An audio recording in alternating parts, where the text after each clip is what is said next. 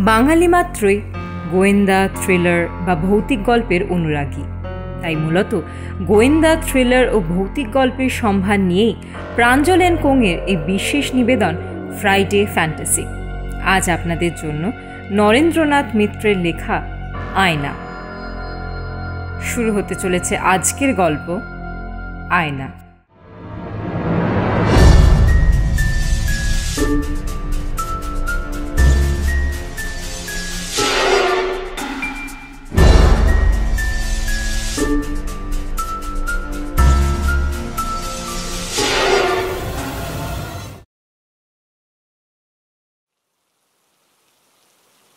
মাস তিনেক আগে সন্ধ্যার পর বউবাজার স্ট্রিটের একজন বন্ধুর ফার্নিচারের দোকানে বসে গল্প করছিলাম। উত্তর দক্ষিণে লম্বা দোকানটির বেশিরভাগ জায়গা সরোজ গুদামের কাজে লাগিয়েছে। নানা প্যাটার্নের খাট, চেয়ার, আলমারিতে সেই গুদাম ভর্তি। দরজার সামনে যে অল্প একটু জায়গা রয়েছে, সেখানে ছোট্ট একটা টেবিল, সরোজের কাউন্টার। আমরা সেই টেবিলের ধারে দুখানা চেয়ারে পাশাপাশি বসে গল্প করছিলাম। বাইরে টিপ টিপ করে বৃষ্টি হচ্ছে। বৃষ্টিটা একটু জোরে হতেই সরোজ দরজা বন্ধ করে দিল। বলল দেখো দেখো কাণ্ড দেখো। এক ঝাপটায় সব ভিজিয়ে ফেলল। কার্তিকের শেষে এমন ফালতু বৃষ্টি আর দেখেছ কখনো? বন্ধুর সেই বিরক্তিটুকু আমি উপভোগ করলাম। তারপর উঠে দাঁড়িয়ে বললাম আচ্ছা এবার যাই। কিন্তু সরোজ জোর করে আমার হাত ধরে টেনে বসালো। একটু ধমকের সুরেই বলল বসো তো এসেই তো যাই যাই করছ। ন মাসে ছ মাসে একবার দেখা হয় তাও যদি অল্প বসতেই না পারো তবে আসোই বা কেন?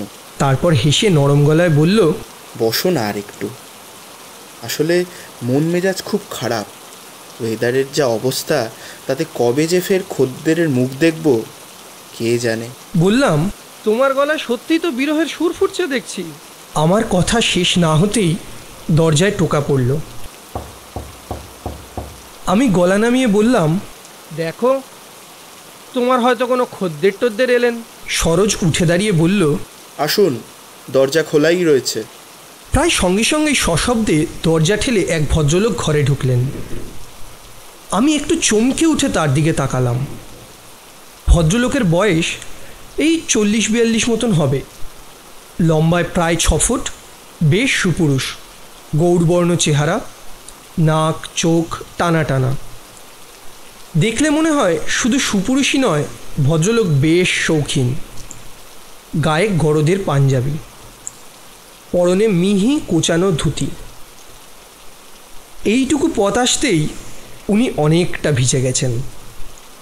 এমন একজন সুদর্শন পুরুষকে দেখেও আমার বন্ধু সরোজ খুব খুশি হয়েছে বলে মনে হলো না বরং তাকে যেন একটু অপ্রসন্নই দেখাল। সরোজ গম্ভীর স্বরে বলল বসো নিরঞ্জন এই বৃষ্টি বাদলের দিনেও তুমি বেরিয়েছ?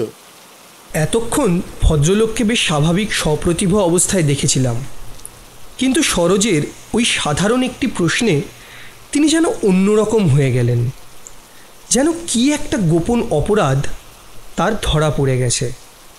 চোখে মুখে ঠিক তেমনই এক ধরনের নার্ভাস ভাব ফুটে উঠল। তিনি যেন একটা অভিযোগের প্রতিবাদ করছেন। তেমনই ভঙ্গিতে বললেন হ্যাঁ বেরিয়েছি। কি এমন ঝড়ঝাপটা হচ্ছে যে মানুষ ঘর থেকে বেরোতে পারবে না? তাছাড়া আমার এদিকে একটু কাজ ছিল তাই বেরিয়েছি। সরোজ একটু হাসতে চেষ্টা করে বললে তা বেশ করেছ। দরকার থাকলে বেরোবে বই কি? হ্যাঁ আমরা কি বেরোই না? বসো ভালো হয়ে বসো। কিন্তু লক্ষ্য করলাম, ভদ্রলোকের মধ্যে যেন কিসের একটা চাঞ্চল্য আরম্ভ হয়েছে। তিনি তাকে জোর করে চাপতে চেষ্টা করছেন, কিন্তু কিছুতেই পেরে উঠছেন না। মনে হলো, তিনি যেন একবার উঠে বেরিয়ে যেতেও চেষ্টা করলেন, কিন্তু না পেরে শেষে হতাশ হয়ে বসে পড়লেন। যেন জোর করে তাকে কেউ উঠতে দিচ্ছে না, তাকে ইচ্ছার বিরুদ্ধে আটকে রাখছে। তার ভাবভঙ্গি দেখে কেমন একটা অপ্রকৃতিস্থ বলে মনে হলো। তারপর হঠাৎ করেই তিনি বললেন আচ্ছা সেই আয়নাটা কোথায়? বিক্রি হয়ে গেছে? সরোজ তার দিকে তাকিয়ে বলল আমি জানতাম তুমি এই কথাটি ঠিক জিজ্ঞেস করবে। তুমি এর জন্যই এসেছ তাই না? ভদ্রলোক ফের প্রতিবাদের সুরে বললেন হ্যাঁ এর জন্যই এসেছি। উফ আশ্চর্য! আমার একটা জিনিস তোমায় বিক্রি করতে দিয়েছি সেটা তুমি বিক্রি করলে কি করলে না তা জিজ্ঞেস করলেই দোষের হয়ে গেল। শরৎ শান্তভাবে বলতে চেষ্টা করল আহা আমি কি বলছি দোষের? তুমি এত রেগে যাচ্ছ কেন? সত্যিই তো তোমাদের জিনিসের কথা তুমি একবার কেন হাজারবার জিজ্ঞেস করতে পারো। তাতে কিছুই দোষের নেই। ওই তো তোমাদের ড্রেসিং টেবিলটা ওই কোনায় রাখা রয়েছে। এখনও বিক্রি করতে পারিনি। তবে ভেবো না দরদাম হচ্ছে একদিন ঠিকই বিক্রি হয়ে যাবে। আমার ভাববার কি বা আছে? বলে ভদ্রলোক চেয়ারে চেপে বসে রইলেন। তারপর যেন নিজের অনিচ্ছা সত্ত্বেও উঠে পড়লেন। ধীরে ধীরে গিয়ে দাঁড়ালেন ড্রেসিং টেবিলের সামনেটাতে। এতগুলি ফার্নিচারের মধ্যে আমি সেই টেবিলটাকে এতক্ষণ লক্ষ্যই করিনি। তিনি গিয়ে দাঁড়াতে এবার ড্রেসিং টেবিলটা আমার চোখে পড়ল। দেখলাম টেবিল আয়নাখানা সত্যিই বেশ সুন্দর। আগেকার আমলের বার্মাটিকে তৈরি, কালো পালিশ। আয়নাখানা বেশ পুরু আর স্বচ্ছ। আমি ফার্নিচার ডিলার নই, এসব জিনিস তেমন ব্যবহারও করি না। তবু বুঝতে পারলাম জিনিসটা বেশ দামি। আজকাল এই জিনিস খুব একটা পাওয়া যায় না। কিন্তু আয়নার মধ্যে ভদ্রলোকের মুখের যে ছায়া পড়েছে তার দিকে হঠাৎ আমার চোখ পড়ায়, আমি চমকে উঠলাম। বলতে লজ্জা নেই, আঁতকে উঠলাম। এমন বিবর্ণ ভীত মুখ আমি আর দেখিনি। ভদ্রলোক আয়নার মধ্যে কি দেখছিলেন জানি না, কিন্তু তাকে দেখে আমার মনে হলো যেন তিনি আর আমাদের জগতের কেউ নন, যেন কোনো এক অলৌকিক লোকের অধিবাসী। ভয় জিনিসটা বোধহয় সংক্রামক। নইলে তার ভয় আমাকে এমন ভয়ার্ত করে তুলবে কেন? আমি সরোজকে ওর কথা জিজ্ঞাসা করতে যাচ্ছিলাম। দেখি, সে ততক্ষণে উঠে গিয়ে ভদ্রলোকের একটা কাঁধ শক্ত করে চেপে ধরেছে। আমি তার গলা শুনতে পেলাম। ভদ্রলোক ফিরে এবার তাকালেন। অস্ফুট স্বরে বললেন কি বলছো? সরোজ ধমকের ভঙ্গিতে বলল বলছি কি তুমি এবার বরং বাড়ি যাও। তোমাকে আর এখানে দাঁড়িয়ে থাকতে হবে না। অনেক তো রাত হয়ে গেছে। মাসিমা হয়তো তোমার জন্য চিন্তা করছেন। বরানগর তো আর এখানে নয় যেতেও তো অনেক সময় লাগবে। তুমি এবার এসো। ভদ্রলোক শান্ত বাধ্য ছোট ছেলের মতো বললেন হ্যাঁ যাই। সত্যি রাত তো অনেক হলো। আমি খেয়ালই করিনি। তিনি এবার দরজার দিকে এগোতে লাগলেন। কিন্তু দু পা যেতে না যেতে আবার ফিরে এসে আমার বন্ধুর দিকে চেয়ে বললেন সরোজ। সরোজ কোমল স্বরে বলে উঠল বলো। ভদ্রলোক একটু ইতস্তত করে বললেন তুমি বরং আয়নাটা আমায় ফেরতই দাও বুঝলে? আমি ওটাকে বাড়ি নিয়ে গিয়েই রাখি। সেই আসতে তো আমাকে হবেই তার চেয়ে তিনি একটু হাসলেন। সে হাসি যেমন করুণ তেমনই বিষণ্ণ। সরোজ বলল উফ এবার তুমি বাড়ি যাও তো। মাসিমা তোমার জন্য চিন্তা করছেন। শিগগির যাও। বলতে বলতে সরোজ তাকে একরকম জোর করেই ঘর থেকে বের করে দিল। জন দুই পালিশলা ভেতরের দিকে বসে কি কাজ করছিল। সরোজ আমার কথার জবাব না দিয়ে তাদের ধমকে উঠল। আচ্ছা ফটিক মুকুন্দ তোমাদের কতদিন ধরে বলছি? টেবিলটা সামনে না রেখে ভিতরের দিকে কোথাও লুকিয়ে রেখো। আমার কথা কানে যায় না না? পালিশওয়ালাদের একজন বলল আগে ছোট কর্তা ভেতরেই তো ছিল। একজন খদ্দের নেবেন বলে গেলেন তাই বাইরে এনে পালিশ টালিশ করে এখানে রেখেছি। কই তিনি তো আর এলেন না। দ্বিতীয় পালিশওয়ালাটি বলল আগে খোঁজ নিয়ে দেখুন তার আসবার অবস্থা আছে কিনা। নাকি বেনে পুকুরের মধুবাবুর মতো তারও এতক্ষণে। হয়ে গেছে। সরোজ ফের ধমক দিয়ে উঠল। কি যা তা বলছো? নিজেদের কাজ করো তো। প্রথমজন বলল আমাদের ধমকানার যাই করুন ছোট কর্তা আয়নাটাকে আপনি শিগগির ঘর থেকে বিদায় করুন। কাউকে বিনি পয়সায় বিলেও যদি দিতে হয় তাই দিন। নইলে কবে যে আবার কি ঘটবে? সরোজ বাধা দিয়ে বলল আহ ফের ওই সব কথা। তোমাদের মতো সুপারস্টিশিয়াস লোকদের দিয়ে না কাজ করানোটাই মুশকিল। আমি আবার জিজ্ঞাসা করলাম সরোজ ব্যাপারটা কি? সরোজ একটুক্ষণ চুপ করে থেকে বলল ব্যাপারটা বড়ই দুঃখের। নিরঞ্জনের যে এমন একটা পরিণতি হবে তা কোনো দিনও ভাবতে পারিনি। সত্যি বলতে কি ওর মতো সেন আর সবার ছেলে আমাদের দলের মধ্যে আর ছিল না। বললাম তাহলে হঠাৎ এরকম কেন হলো? সরোজ বলল ঠিক হঠাৎ একদিনে হয়নি। আর একটা কারণেই যে এমন হয়েছে তাও আমার মনে হয় না। তবু শেষের ঘটনাটা যে সবচেয়ে গুরুতর তা মানতেই হবে। কিন্তু তোমাকে গোড়া থেকে না বললে কিছুই বুঝতে পারবে না। আমি বললাম হ্যাঁ তুমি বরং গোড়া থেকেই বলো। আমি শুনছি। সরোজ তখন বিস্তৃতভাবে বলতে শুরু করল।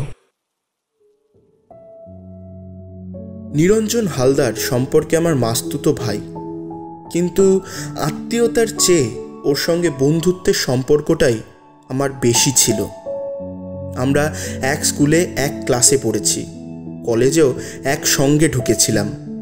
আমি বছর দুই যেতে না যেতেই বেরিয়ে আসি। আর নিরঞ্জন ডিস্টিংশনে বিএ পাশ করে। মেসমশাই ছিলেন নাম করা অ্যাটর্নি। তার ইচ্ছা ছিল নিরঞ্জন ল পড়ে। কলেজে ভর্তিও হয়েছিল। কিন্তু মাস ছয়েক বাদেই ছেড়ে দিল। বলল দূর ভালো লাগল না। এই নিয়ে মেসমশাইয়ের সঙ্গে ওর সামান্য ঝগড়াঝাটিও হয়েছিল। কিন্তু সে এমন বেশি কথা নয়। তিনি ছেলেকে খুবই ভালোবাসতেন। একটা কড়া কথা বলে তিনি তিনবার গিয়ে পিঠে হাত বুলোতেন। কিন্তু এত আদর যত্ন সত্ত্বেও নিরঞ্জন বিগড়ে গেল।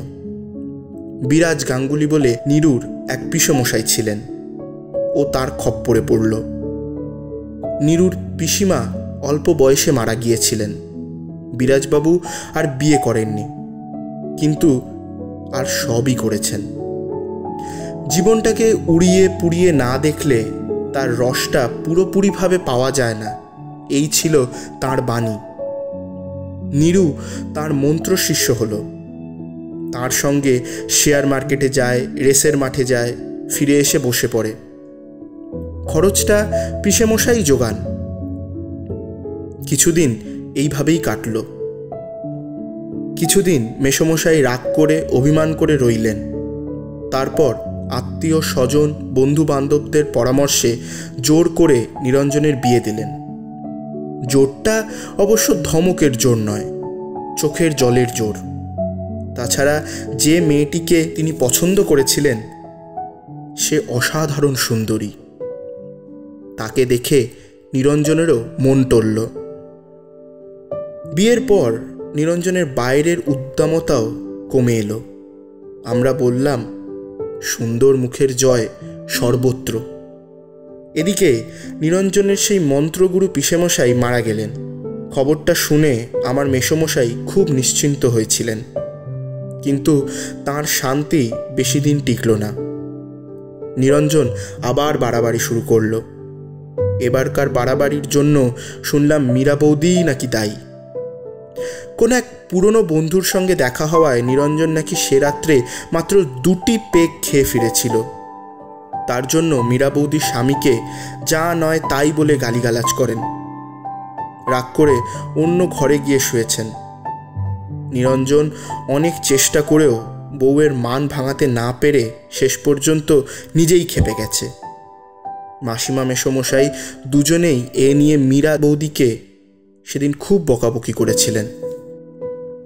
বছর পাঁচেক বাদে মেসমশাইও চোখ বুঝলেন কিন্তু নিরঞ্জনের তখনও ফেরবার নাম নেই। ওই সেই পিসে বিরাজ গাঙ্গুলি যেন ওর মধ্যে নতুন করে জন্ম নিয়েছে। এই সময় একদিন ছেলের অন্নপ্রাশনে ওদের নিমন্ত্রণ করেছিলাম। নিরঞ্জন আসেনি, মাসিমা আর মীরা বৌদি এসেছিলেন। শাশুড়ির অজ্ঞাতে মীরা বৌদি সেদিন আক্ষেপ করে বলেছিলেন সরোজবাবু বাবা আমাকে শুধু বাড়ি ঘর দেখে বিয়ে দিয়েছিলেন। কার হাতে দিলেন সেটা দেখেনি আমার স্ত্রী মল্লিকা তাকে বলেছিল ও কথা কেন বলছেন মিরাদি? রূপ গুণ বিদ্যা বুদ্ধি কোনোটাতেই তো তিনি কম নন। তার তো সবই আছে। মীরা বৌদি বলেছিলেন মানুষ তো শুধু বাইরেটাই দেখে বলুন। বাড়িতে যে থাকে, সেই বোঝে। সব থাকবার কি জ্বালা। তার সেই কথাগুলো আজও যেন আমার কানে লেগে রয়েছে। আরও বছর তিনেকের মধ্যে নিরঞ্জন পৈতৃক বাড়ি, ঘর, বিষয় সম্পত্তি সব হারালো। দামি দামি সব ফার্নিচার ভারী সস্তায় বিক্রি করে দিল। আমাকে একবার জানালোও না। আমি জানতে পারলে ওকে ওরকমভাবে ঠকাতাম না। মীরা বৌদি রাগ করে গিয়ে বাপের বাড়ি ছিলেন। ফিরে এসে দেখেন বিয়ের সময় বাবার কাছ থেকে যৌতুক পাওয়া তার খাট, আলমারি পর্যন্ত নিরঞ্জন বিক্রি করে দিয়েছে। বাকি আছে ড্রেসিং টেবিলটা। তারও দরদাম চলছে। মীরা বৌদি সেই আয়নার সামনে টেবিলের ওপর মাথা গুজে রইলেন। বললেন আমাকে না বেচে তুমি আমার বাবার দেওয়া টেবিল বিক্রি করতে পারবে না কিছুতেই কিছুতেই না। তার দেওয়া একটা জিনিসও কি আমি রাখতে পারব না? তারপর ওরা জোড়া বাগান ছেড়ে বরানগরের একটা ছোট্ট ভাড়াটে বাড়িতে উঠে যায়। সেখানেও জোর দাম্পত্য কলহ চলে। তারপর হঠাৎ নিরঞ্জন অসুস্থ হয়ে পড়ে। সেবার প্রায় মাস ছয়েক ভুগেছিল। মাঝে মাঝে আমি যেতাম। আর দেখতাম মীরা বৌদির সেবা শুশ্রূষা। তখন তার গয়না বিক্রি করে চিকিৎসা চলত, সংসার চলত। এই গয়নার বাক্স স্বামীর হাতে পড়বে বলে নিজের দাদার কাছে তিনি লুকিয়ে রেখে এসেছিলেন। বিপদের দিনে সেই বাক্স আবার তিনি ফেরত নিয়ে এলেন। নিরঞ্জন একদিন স্ত্রীকে বলেছিল, আয়নাটা বিক্রি করতে তো আমায় দিলে না। অথচ দেখো গয়নাগুলো দিব্যি বিক্রি করছ? তা বলি আয়নাটা কি গয়নাগুলোর চেয়েও দামি? মীরা বৌদি একটু লজ্জিত হয়ে বলেছিলেন তা নয় একটা আয়না বিক্রি করলে কতই বা হতো। কিন্তু নিরঞ্জন আর মাসিমার কাছে শুনেছি আয়নার ওপর মীরা বৌদির একটু বেশি রকম দুর্বলতা ছিল। গয়নাগাটি তিনি বিশেষ পড়তেন না কিন্তু সময় পেলেই যখন তখন আয়নার সামনে গিয়ে দাঁড়াতেন। এক দৃষ্টিতে নিজের ছায়ার দিকে চেয়ে থাকতেন। কি দেখতেন, কি ভাবতেন, তিনিই জানেন। যে রূপে স্বামীকে মুগ্ধ করতে পারেননি, সেই রূপকে তিনি কি চোখে দেখতেন, তা আমি সত্যিই জানি না।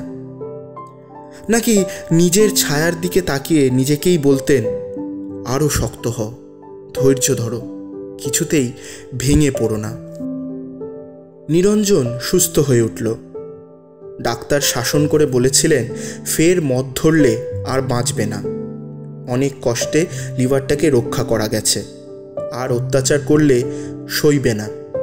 তবু মদের জন্য নিরঞ্জনের মন চঞ্চল হয়ে উঠত।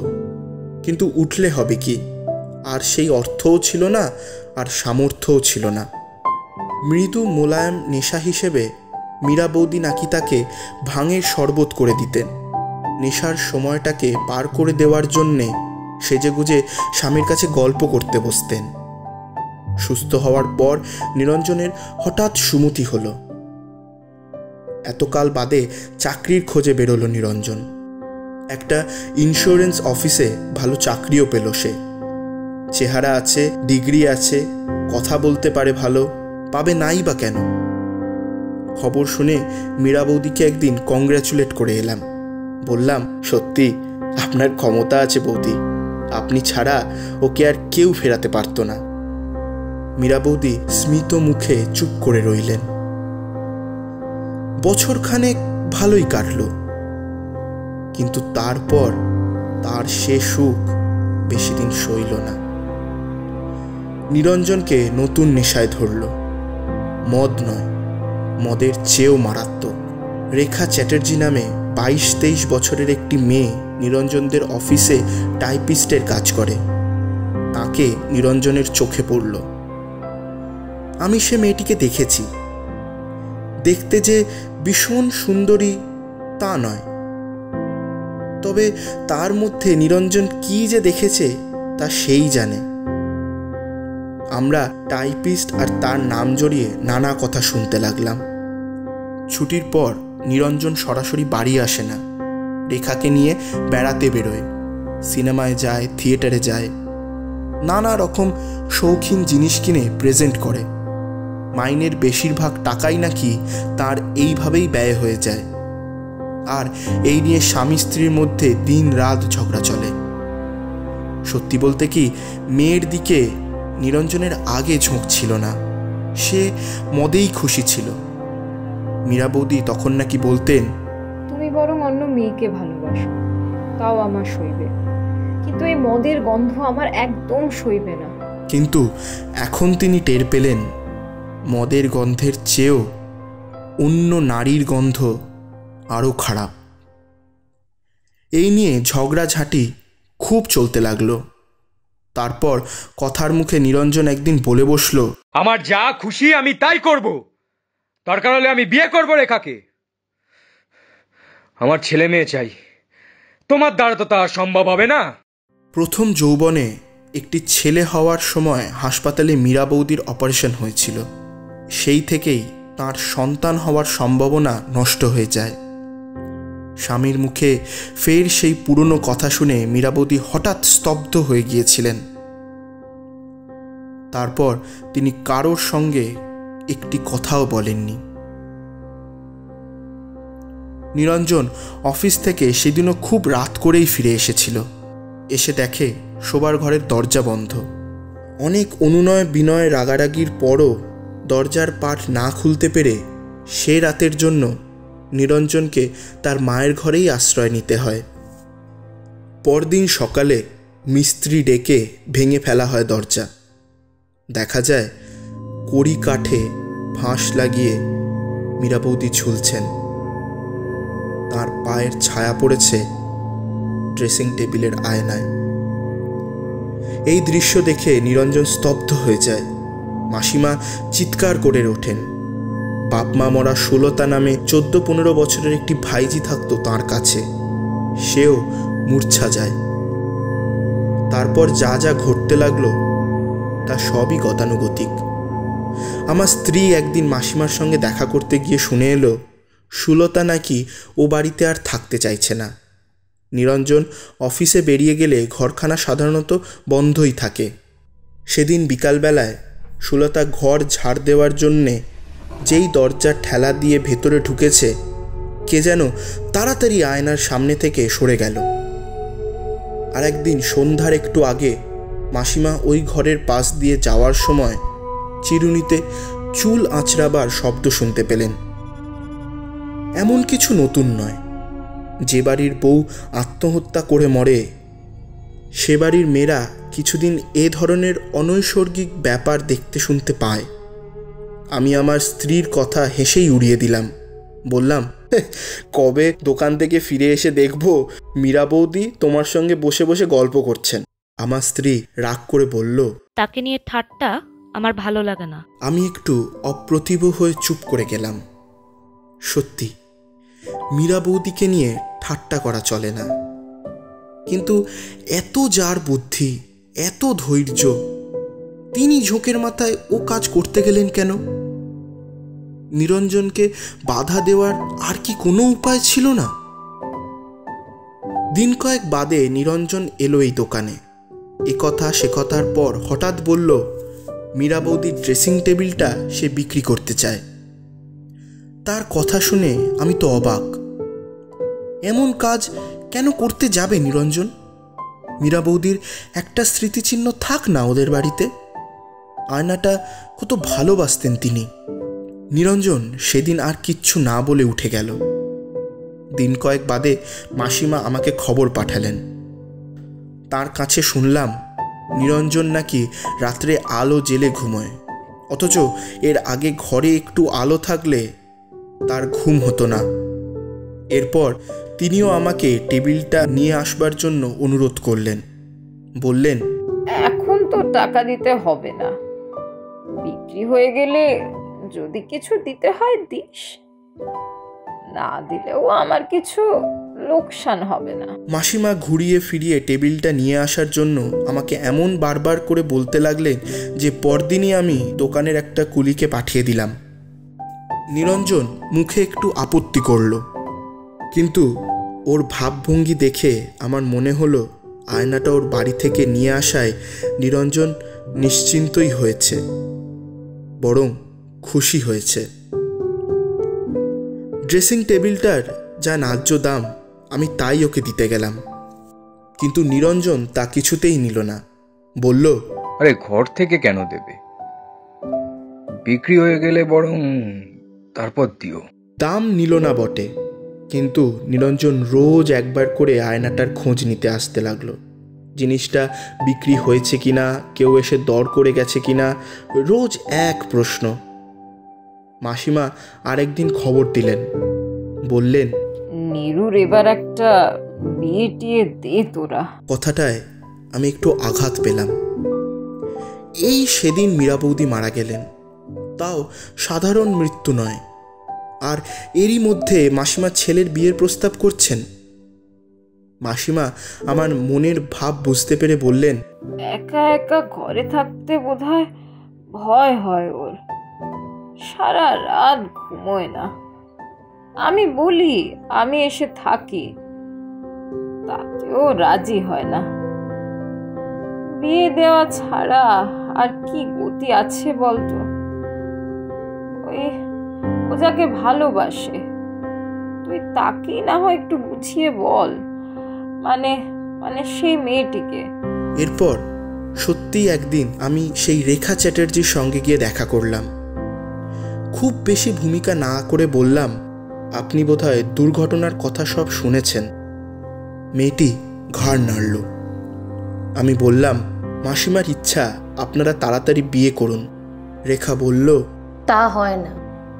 কেন? আপনিও কি ভূতে ভয় করেন নাকি? রেখা এবার চোখ তুলে আমার দিকে তাকালো। বলল না ভূত নয়। ভূতে পাওয়া মানুষকে আমার ভয় সবচেয়ে বেশি।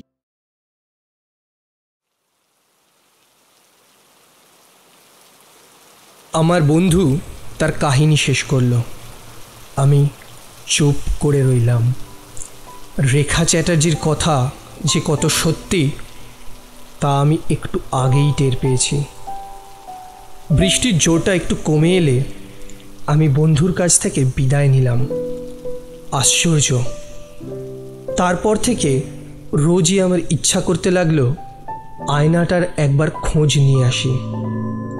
কিন্তু ও পথ আমি কিছুতেই আর মারালাম না।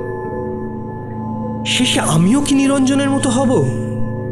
তবু বারবার আমার কৌতূহল হতে লাগল। কি হলো সেই আয়নাটার? কি হলো নিরঞ্জনের?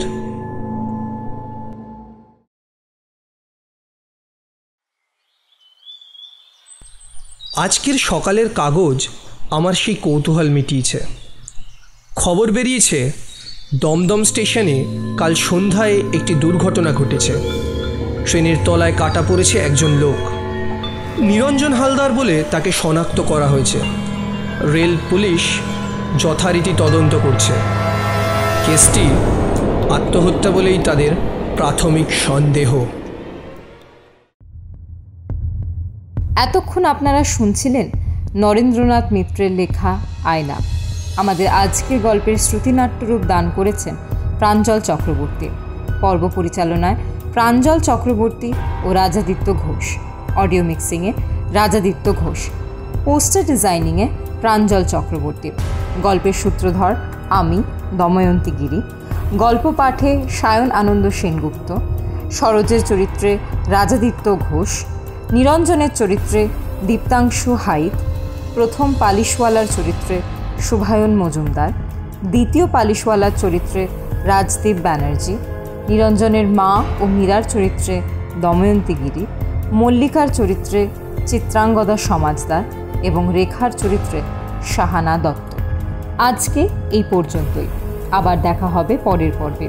আর হ্যাঁ আমাদের গল্প যদি আপনাদের ভালো লেগে থাকে, তাহলে তা কমেন্ট সেকশনে গিয়ে কমেন্ট করে জানাতে ভুলবেন না জানেন এবং আরও নতুন নতুন গল্প শুনতে হলে অবশ্যই সাবস্ক্রাইব করুন আমাদের চ্যানেল প্রাঞ্জল অ্যান্ড কো। শুভরাত্রি।